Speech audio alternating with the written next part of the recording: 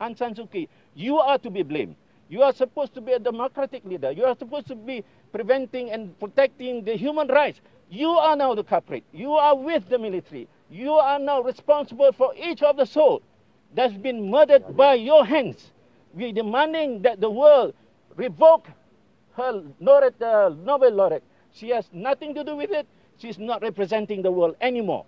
dalam dan kami akan adakan uh, sidang media di sini.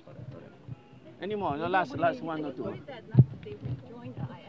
And we're demanding if you still continue, we will demand for the government of Malaysia to expel all the people of Myanmar from this country. We will not tolerate anymore. You have nothing to do with us. You must go back, and we are not going to have problem with you not coming here.